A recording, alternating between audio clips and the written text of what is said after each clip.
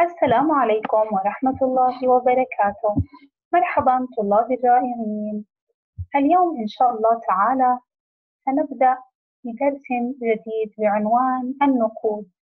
والدرس هذا هو آخر درس في وحدتنا وحدة القياس.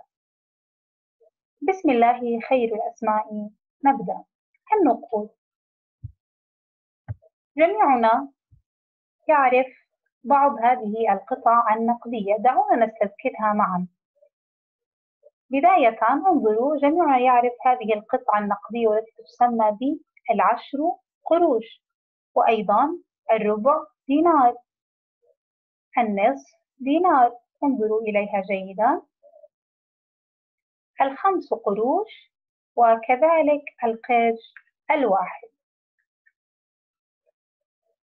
نستمع الآن يا أحبائي إلى هذه القصة حتى نتعلم من خلالها درسنا لهذا اليوم.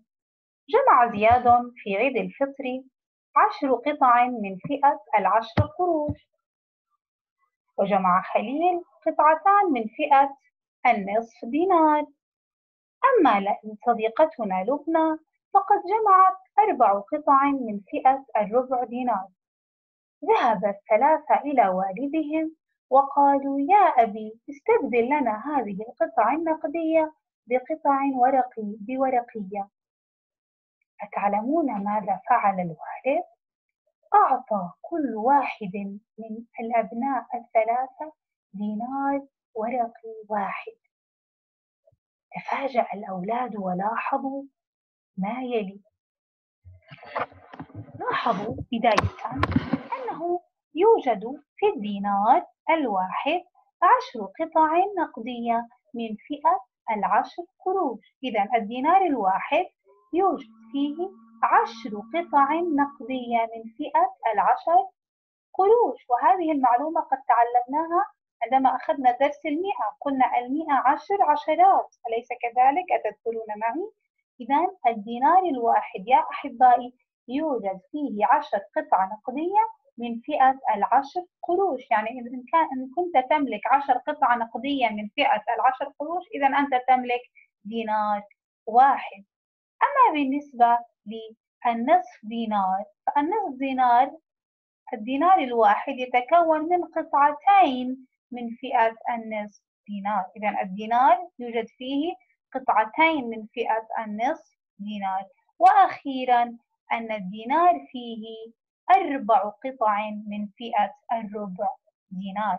هذه معلومات مهمة. إذا الدينار فيه عشر قطع من فئة العشر قروش قطعتان من فئة النصف دينار وكذلك أربع قطع نقدية من فئة الربع دينار. ممتاز. موضوع النقود يا أحبائي مهم في حياتنا. أنت قد تضطر أن تذهب إلى البقالة لتشتري بعض الحاجيات لك أو لوالدتك. أيضا قد تأتي المدرسة يأتي المخصص إذا لابد أن نتقن موضوع النقود والتعامل مع النقود. تابعوا معي. طبعا اليوم إن شاء الله صفحات الكتاب التي سنتابعها اللي هي 102 103 وأيضا 104 الآن هذه الصفحة التي قمنا بتسجيل المعلومات فيها موجودة عندكم صفحة 102 ننتقل إلى 103 أكمل ما يأتي وأستنتج. انظروا جميعكم إلى القطعة النقدية الأولى. هيا ماذا تسمى هذه القطعة؟ هذه القطعة هي قطعة الربع دينار. الربع دينار. يا ترى الآن سنحول هذه هذا الربع دينار إلى لاحظوا بعد يساوي مكتوب لك كلمة قرشا. يعني أنا الربع دينار هذا كم قرشا يوجد فيه؟ دعونا نعد هنا عشرة. عشرة زائد عشرة عشرون. وخمسة خمسة وعشرون. أحسنتم. إذا الربع دينار كم قرش؟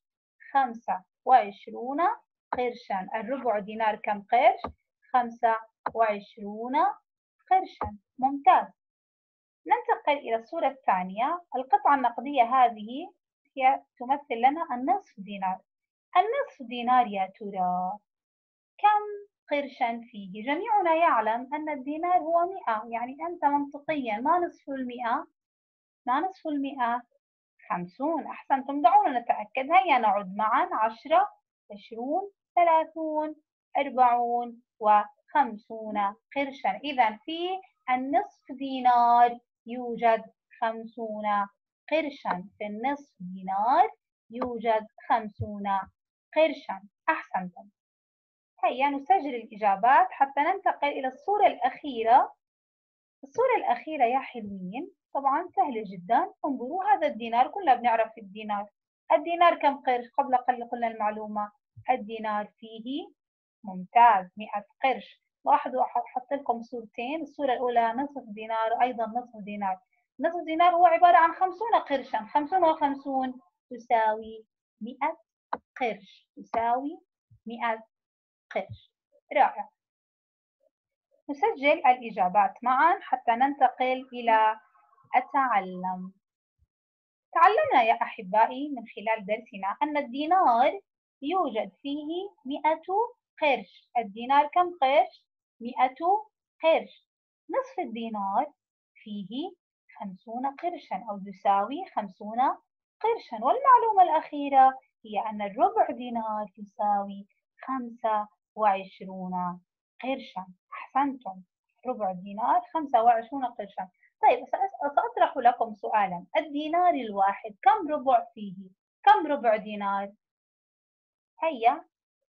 ساعدوني أحسنتم. الربع عفوا الدينار فيه أربع أرباع الدينار الواحد فيه أربع أرباع ممتاز. يعني إن كنت تملك أربع أرباع إذا أنت تملك دينارا واحدا. رائع.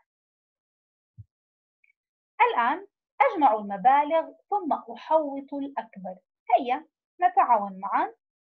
لاحظوا يا أحبائي يوجد لدينا في الصورة الأولى ربع دينار والصورة الثانية أيضا ربع.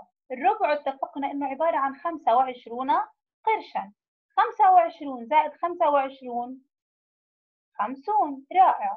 50 زائد 10 60 وخمسة خمسة وستون.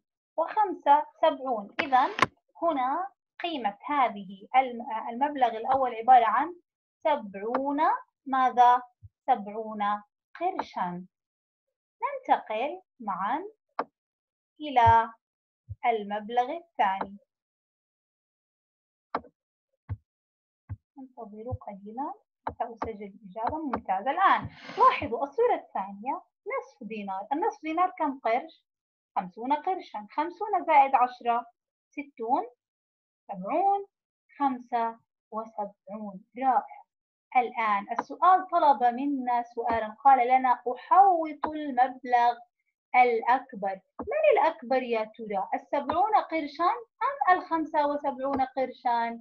يا سلام عليكم. بالتأكيد الخمسة وسبعون هي أكبر من السبعون. إذا سنحوط المبلغ الثاني لأنه هو المبلغ الأكبر. سنضع دائرة على المبلغ الثاني. رائع.